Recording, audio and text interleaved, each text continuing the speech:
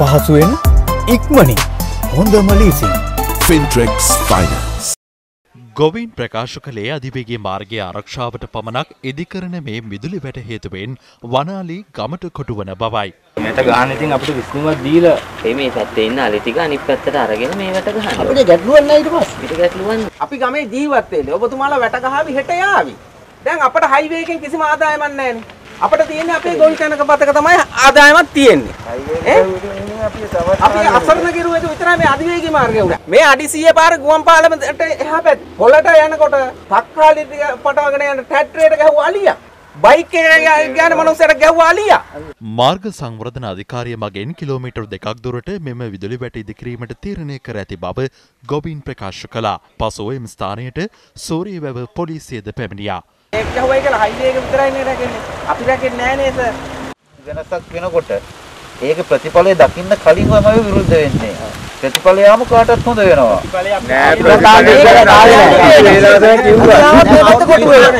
ඔය ඔය මහත් ඔය ඔය සියලු මහත්තුරුන්ට ප්‍රතිඵලය කිව්ව වෙලාවට.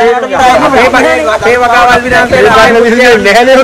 ආරක්ෂිතය ගහන ඒව බලන්න යන්න බලපන්න කවුරුවත් එන්නේ නැහැ කෙසේ නමුත් අවසානයේ පොලිසියේ මැදිහත්වීමෙන් විදුලි වැට ඉදිකිරීම තාවකාලිකව නවතා තම ඇතැයි අප වාර්තාකරු සඳහන් කළා. දැනට ගහලා තියෙනවා අධිවේගී මාර්ගය ආරක්ෂා වෙන්න ලී කණු යොදලා වැටක්. ඒ වැට ශක්තිමත් මදි කියලා මේ කට්ටිය මේ RD එකත් චීන සමාගමත් එකතු වෙලා තාක්ෂණික විදුලි වැටක් ඉදි කරමින් යනවා. අපේ වගාබිම් වලට හානි සිදුවෙන ආකාරයට සියලුම නිලධාරීන් හම්බන්තොට දිස්ත්‍රික් ලේකම්වරයා ඉදිරියේ සාකච්ඡාවක් කළා. ඒ සාකච්ඡාවේදී දිස්ත්‍රික් ලේකම්වරයා පැහැදිලිවම කිව්වා නවත්තන්න වැට මේ පිළිබඳව ශක්තිතා අධ්‍යයනයක් කළා රක්ෂිතේ වටා මේ වැට ගහමු කියලා. එහෙම තියේදී අද නැවතත් ගම්බිම් වල අලි ටික ඉද්දි මේ වැට ගහන්න හදනවා. මිනිස්සු ආරක්ෂා කරන්න කවදාවත් මේගොල්ලෝ කැපුණේ නැහැ. අලි ටික විතරයි. අලිත් පෙන්නනවා සල්ලි ගන්නවා විතරයිනේ. අලි ගැනවත් හිතන්නේ නැහැ මෙයාලා. සැනසීමක් ඇතයි සිතා කතිරය ගැව්වත් මුංහට දුප්පත් අපි වැටුණ නේද කබල පැලීලි පෑතුලට